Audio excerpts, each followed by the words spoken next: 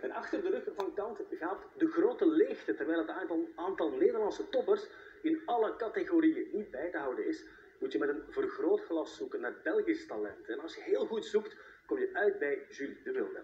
De Wilde kroonde zich vorige week in Antwerpen tot Belgisch kampioen bij de junioren, terwijl ze eigenlijk nauwelijks met haar crossfiets rijdt.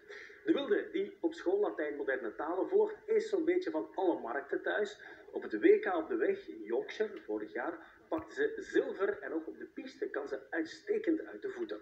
Chris Picavet ging haar opzoeken op een pistetraining in Apeldoorn in Nederland.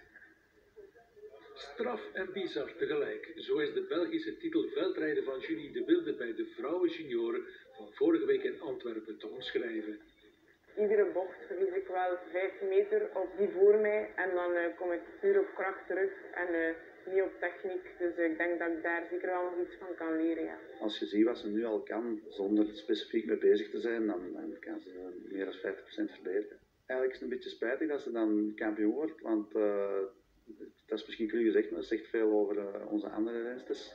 Jammer, maar helaas. Voor juniorenskampioene Julie de Wilde blijft het veldrijden voorlopig een leuke afwisseling. Daarom ook dat ze dit weekend de wielerbaan in Apeldoorn verkiest, boven de wereldbeker veldrijden in Nommé. Een keuze voor de toekomst wil ze nog niet maken. Ik koers nog niet zo heel lang en uh, ik tast nu zo'n beetje af waar uh, ik goed in ben en wat ik leuk vind. Uh, en ik vind dat ik op mijn leeftijd nog niet echt moet kiezen in wat ik specifiek ga doen. Julie de Wilde is een ruwe diamant die in staat is om wereldtop te worden, maar voorlopig gaan haar studies voor als. Ik wil nog niet te vroeg mijn zinnen volledig op sport zetten, omdat ik er, als ik er echt uh, iets wil mee doen later, er nog lang genoeg aan mee moeten bezig zijn. En ja, daarom kies ik bewust om nog niet echt op een topsportschool te gaan. Een keuze die je moet respecteren. Maar dit supertalent moet ook van nabij gevolgd worden. Kan de witte raaf zijn tussen al het Nederlandse talent. Er zijn zeker al veel voor op ons, maar ik probeer mij daar niet aan te storen en ik probeer jaar na jaar te verbeteren. Ik zie mijn crosscarrière niet op korte termijn, maar eerder op lange termijn. Maar lang niet iedereen van de jonge Belgische wielrensters ziet het nut in van een goede begeleiding.